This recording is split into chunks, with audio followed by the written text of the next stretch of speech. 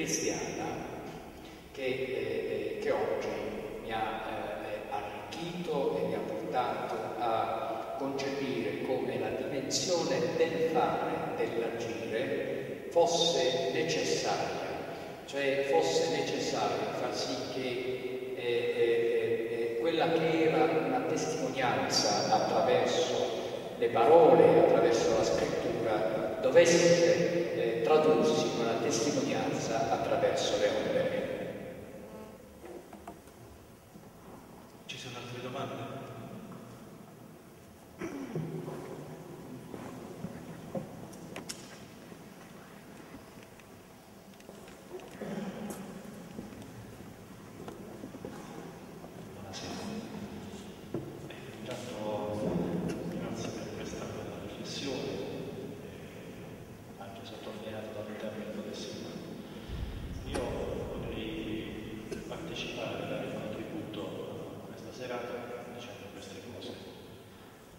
cristianesimo nasce da due movimenti, da due voti apparentemente contrastanti, paradossali.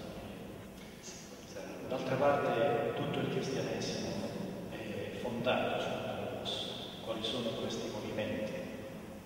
Nasce da un movimento dall'alto verso il basso, che è l'incarnazione, e poi si conclude con un movimento dal basso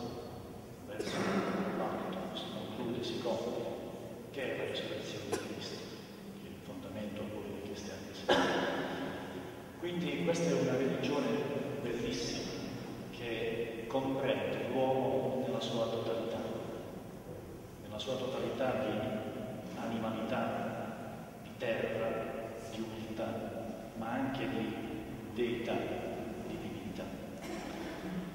E però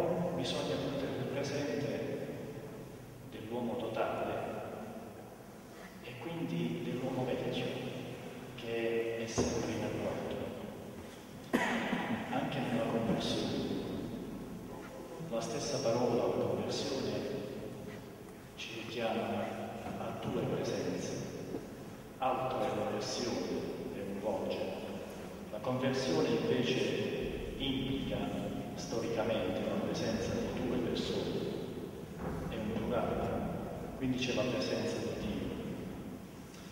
Ma l'uomo vecchio può essere sconvolgente perché dobbiamo sempre fare i conti con questo uomo vecchio. Ad ogni modo, ho domanda anche questa. Lei, il suo impegno, la sua conversione si richiama anche a questo impegno politico.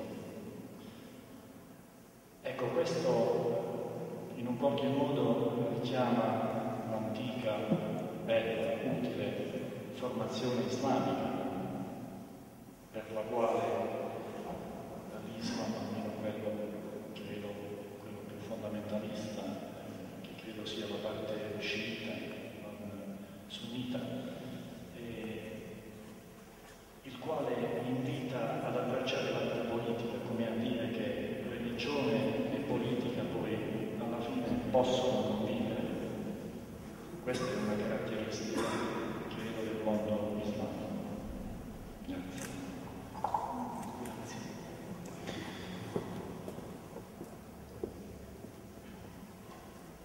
Non, non, non sono stato certamente ispirato dal pensiero sciita nella mia scelta di impegno nella politica, ho ricordato invece l'appello di Benedetto XVI, reiterato, fatto proprio anche nella conferenza episcopale italiana, ma testimoniato anche dalla vita di Gesù Cristo, la vita terrena di Gesù Cristo, che non si è limitato a predicare, non si è limitato a dare l'esempio, ma si è limitato a operare, ma, ma, ma si è impegnato a avvicinarci alla verità attraverso le opere, dove l'impegno nella politica Paolo VI lo definì come la più alta forma di carità cristiana ed a considerarsi oggi come una missione per far sì che la politica corrisponda autenticamente al servizio della collettività. La politica metta al centro la persona come depositaria di pari dignità, di pari libertà, persegua il bene comune. Quindi questo è l'impegno della politica che ha una sua piena legittimazione all'interno del, del cristianesimo ed è questo quello che ha ispirato il, il, mio, il mio, percorso. Prego, la domanda successiva.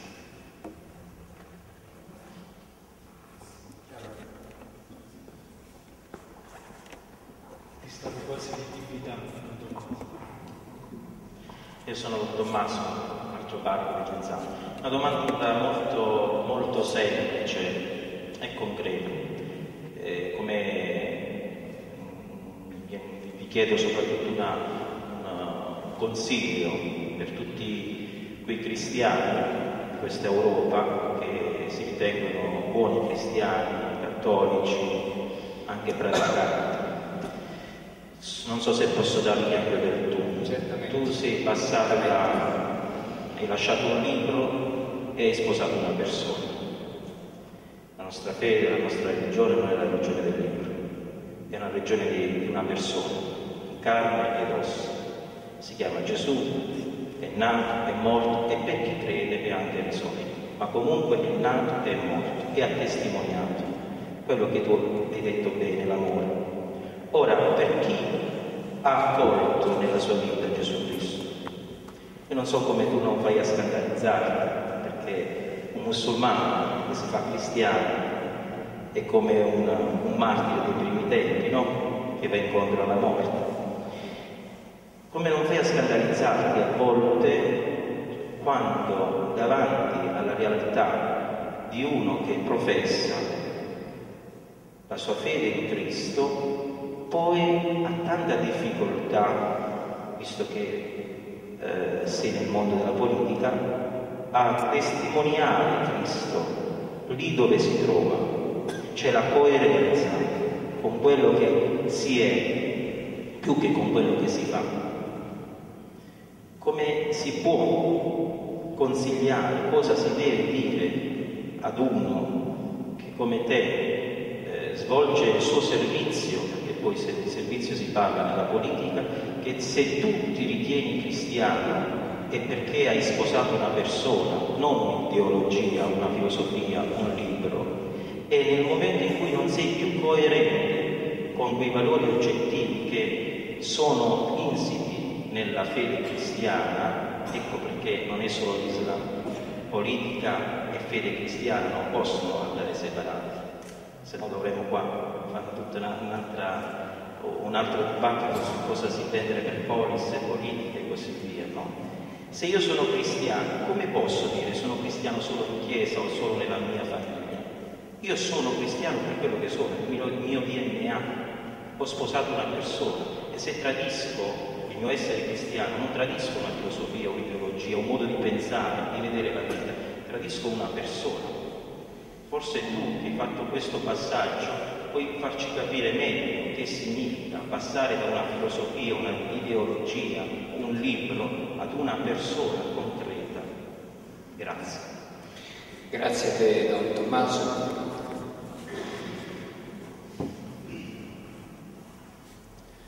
Ma oggi una, un'epoca di grande fragilità, di grande precarietà. Eh, anche di grandi contraddizioni che culminano in atteggiamenti lesivi nei nostri stessi confronti. Questa è ad esempio un'Europa che ci giunge di togliere i crocifissi dalle aule scolastiche e a fronte di quella sentenza emessa dalla Corte per i diritti dell'uomo del Consiglio d'Europa c'è stato un silenzio assordante da parte dei governi europei, ma al tempo stesso è un'Europa che si appassiona, che si infervora, che vuole la proliferazione dei minareti e nel momento in cui, come è accaduto in Svizzera, a seguito dell'esercizio dell'istituto democratico del referendum, la maggioranza del popolo elvetico ha chiesto di porre un argine alla proliferazione dei minareti, tutti si sono scandalizzati, sono intervenuti per condannare l'esito di quel referendum, ritenendo che se si mette un argine alla proliferazione dei minareti è come venir meno a un qualcosa che dovrebbe essere il nostro DNA, dove però questo stesso impulso di salvaguardia della libertà religiosa non c'è quando viene violata la libertà religiosa dei cristiani. Oggi i cristiani purtroppo sono quelli che pagano il prezzo più alto